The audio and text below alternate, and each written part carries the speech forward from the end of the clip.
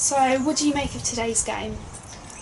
I think it was a frustrating game in the sense they come and sat in, they come and played for a point, uh, and I think we lacked a little bit of end product in the final third. But look, we respect the point.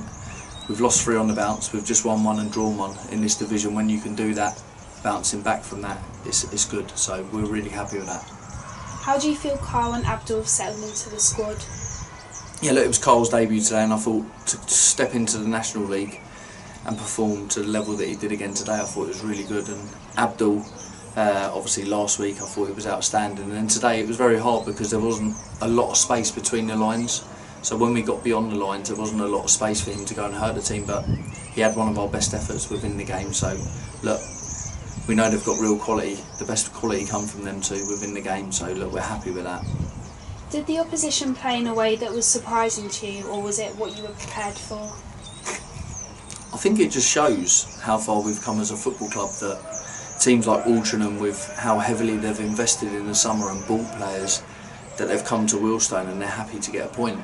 Uh, so it's a real credit to our lads, it's a credit to our football club now that how far we've come as a football club that Altrincham are coming here and they're happy with a point at Wealdstone. Uh, but on the flip side, it's frustrating for us to not get all three points. But I don't think we deserved all three points today. I don't think we created enough openings. But you've got to give credit to the opposition when you get 11 men behind the ball constantly. It's very hard to break down. What are you going to be working on for Tuesday? It will just be recovery.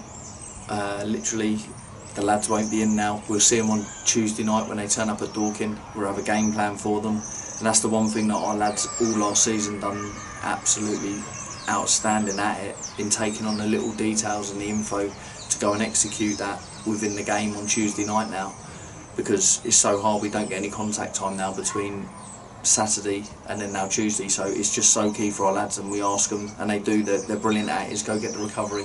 Make sure that when we come on Tuesday that we're fresh and tactically we will solve the problems that will arise within the game.